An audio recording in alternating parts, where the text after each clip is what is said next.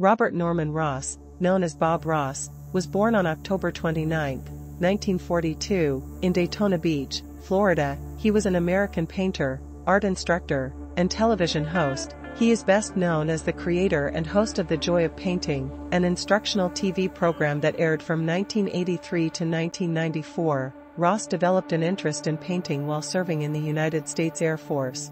He rose to the rank of Master Sergeant and served as the first sergeant of the clinic at Eielson Air Force Base in Alaska. He developed his quick painting technique during brief daily work breaks. Ross's painting style, known as wet on wet, allowed him to create a painting within 30 minutes. This style was well suited for his TV show, where he painted entire landscapes in real time during each half-hour episode. Ross's gentle and encouraging demeanor made him a beloved figure. He passed away on July 4, 1995, but his legacy continues to inspire millions of people around the world.